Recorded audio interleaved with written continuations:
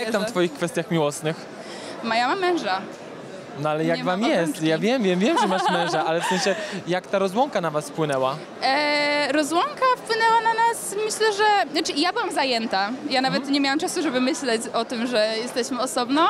E, a mój mąż no, wyczekiwał na mnie z utęsknieniem, musiał zajmować się naszym pieskiem, więc e, tęsknił za mną bardzo, ale ten czas bardzo szybko też wleciał. I no już jak się spotkaliśmy po rozłące, e, no to super, mieliśmy czas też. Jak sobie to odbiliście, tę rozłąkę? E, no spędziliśmy dużo czasu razem. Nie było potem- jakiegoś wielkiego wyjazdu za granicę? Nie, jeszcze nie było, ale jedziemy w grudniu, lecimy na Zanzibar sobie odbić też w ogóle w naszą podróż poślubną, bo jeszcze nie byliśmy, e, więc po ponad roku od ślubu jedziemy w podróż poślubną, żeby odbić też sobie, to już będzie też po programie, e, więc wtedy spędzimy razem dużo czasu. A wiesz, że kiedyś była afera zanzibarska? Że tam celebryci latali za darmo?